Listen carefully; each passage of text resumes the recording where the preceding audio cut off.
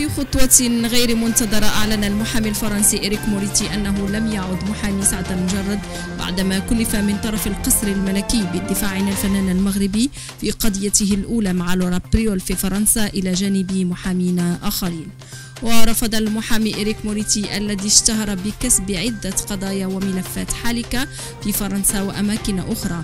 الكشف عن الأسباب التي دفعته إلى عدم تمثيل الفنان المغربي بعد الآن فيما صار المحامي الوحيد لسعد المجرد هو جون مارك فيديدا الذي يواصل الدفاع عن المجرد في قضيته الجديدة أيضا.